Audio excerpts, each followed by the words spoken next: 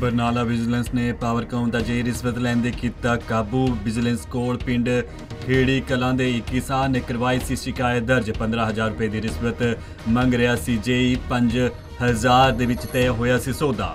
ਅਮਰਜੀਤ ਸਿੰਘ ਨੂੰ 5000 ਦੀ ਰਿਸ਼ਵਤ ਲੈਂਦੇ ਰੰਗੇ ਹੱਥੀ ਕੀਤਾ ਵਿਜੀਲੈਂਸ ਨੇ ਕਾਬੂ। ਦੱਸ ਦਈਏ ਕਿ ਬਰਨਾਲਾ ਦੀ ਵਿਜੀਲੈਂਸ ਟੀਮ ਨੇ ਪਾਵਰਕਾਮ ਦੇ ਇੱਕ ਜੇ ਨੂੰ ਰਿਸ਼ਵਤ ਲੈਣ ਦੇ ਦੋਸ਼ ਹੇਠ ਕਾਬੂ ਕੀਤਾ ਹੈ।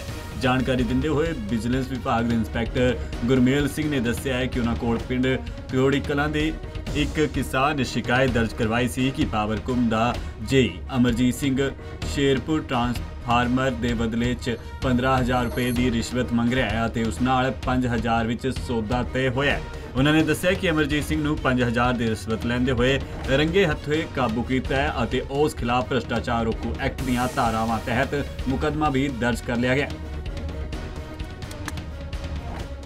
ਬਰਨਾਲਾ ਵਿਜੀਲੈਂਸ ਨੇ ਪਾਵਰਕਾਮ ਦਾ ਜੇ ਰਿਸ਼ਵਤ ਲੈਣ ਦੇ ਕੀਤਾ ਕਾਬੂ। ਵਿਜੀਲੈਂਸ ਕੋਲ ਪਿੰਡ ਖੇੜੀ ਕਲਾਂ ਦੇ ਇੱਕ ਕਿਸਾਨ ਨੇ ਕਰਵਾਈ ਸੀ ਸ਼ਿਕਾਇਤ ਦਰਜ। 15000 ਰੁਪਏ ਦੀ ਰਿਸ਼ਵਤ ਮੰਗ ਰਿਹਾ ਸੀ। ਜੇਈ 5000 ਦੇ ਵਿੱਚ ਤੈਅ ਹੋਇਆ ਸੀ ਸੌਦਾ।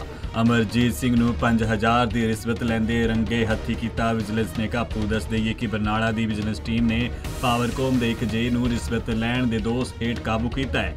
ਜਾਣਕਾਰੀ ਦਿੰਦੇ ਹੋਏ ਵਿਜੀਲੈਂਸ ਵਿਭਾਗ ਦੇ ਇੰਸਪੈਕਟਰ ਗੁਰਮੇਲ ਸਿੰਘ ਨੇ ਦੱਸਿਆ ਹੈ ਕਿ ਉਹਨਾਂ ਕੋਲ ਪਿੰਡ ਪਿਓੜੀ ਕਲਾਂ ਦੇ ਇੱਕ ਕਿਸਾਨ ਨੇ ਸ਼ਿਕਾਇਤ ਦਰਜ ਕਰਵਾਈ ਸੀ ਕਿ ਪਾਵਰਕੁਮ ਦਾ ਜੇਈ ਅਮਰਜੀਤ ਸਿੰਘ ਸ਼ੇਰਪੁਰ ਟਰਾਂਸਫਾਰਮਰ ਦੇ ਬਦਲੇ 'ਚ 15000 ਰੁਪਏ ਦੀ ਰਿਸ਼ਵਤ ਮੰਗ ਰਿਹਾ ਹੈ ਅਤੇ ਉਸ ਨਾਲ 5000 ਵਿੱਚ ਸੌਦਾ ਤੈਅ ਹੋਇਆ ਹੈ। ਉਹਨਾਂ ਨੇ ਦੱਸਿਆ ਕਿ ਅਮਰਜੀਤ ਸਿੰਘ ਨੂੰ 5000 ਦੀ ਰਿਸ਼ਵਤ ਲੈਂਦੇ ਹੋਏ ਰੰਗੇ ਹੱਥੋਂ ਕਾਬੂ ਕੀਤਾ ਹੈ ਅਤੇ ਉਸ ਖਿਲਾਫ ਭ੍ਰਿਸ਼ਟਾਚਾਰ ਰੋਕੂ ਐਕਟ ਦੀਆਂ ਧਾਰਾਵਾਂ ਤਹਿਤ ਮੁਕੱਦਮਾ ਵੀ ਦਰਜ ਕਰ ਲਿਆ ਗਿਆ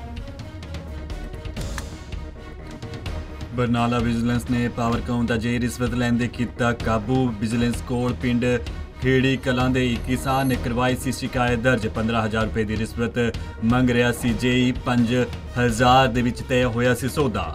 ਅਮਰਜੀਤ ਸਿੰਘ ਨੂੰ 5000 ਦੀ ਰਿਸ਼ਵਤ ਲੈਂਦੇ ਰੰਗੇ ਹੱਥੀ ਕੀਤਾ ਵਿਜੀਲੈਂਸ ਨੇ ਕਾਬੂ। ਦੱਸ ਦਈਏ ਕਿ ਬਰਨਾਲਾ ਦੀ ਵਿਜੀਲੈਂਸ ਟੀਮ ਨੇ ਪਾਵਰਕੋਮ ਦੇ ਇੱਕ ਜੇ ਨੂੰ ਰਿਸ਼ਵਤ ਲੈਣ ਦੇ ਦੋਸ਼ ਹੇਠ ਕਾਬੂ ਕੀਤਾ ਹੈ।